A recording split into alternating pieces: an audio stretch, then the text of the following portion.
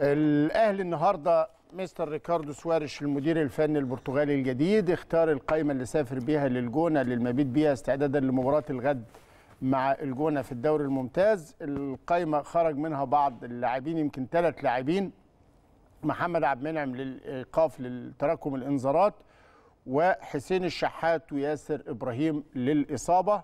لكن القائمه ضمت. محمد الشناوي وعلي لطفي ومصطفى شوبير محمود متولي ورامي ربيعة وحمدي فتحي وحسام حسن ومحمد شريف ووليد سليمان وأيمن أشرف وألو ديانج وعمرو السولية وصلاح محسن ومحمد مجدي قفشة وعلي معلول ومحمد محمود وطاهر محمد طاهر وكريم فؤاد ومحمد هاني وأحمد نبيل كوكا ومحمد أشرف وزياد طارق والدكتور أحمد أبو عبلة طبيب الفريق بيأكد إن آلام الركبة وراء غياب الشحات عن قائمة الفريق للمباراة بالإضافة إلى شكوى ياسر إبراهيم أيضا ورغبة الجهاز في إراحته والدفع ببعض العناصر عشان الفترة الجاية المضغوطة جدا مثلا مم.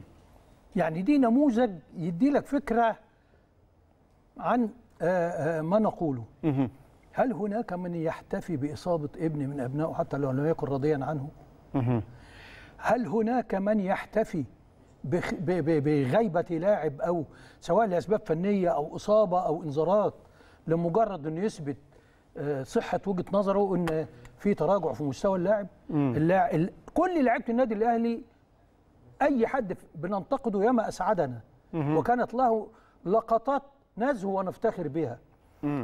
يا جماعة الأهلي مش ناقص ضغوط داخلية لأن هناك من الضغوط الخارجية ما يكفيه طيب. يعني عايزين جمهورنا حقيقي. وسيبكوا بقى وأنا مش زعلان إن حد ينتقدنا أو حد يختلف معانا لكن دعونا نتفق على حب الأهلي على الأقل يعني.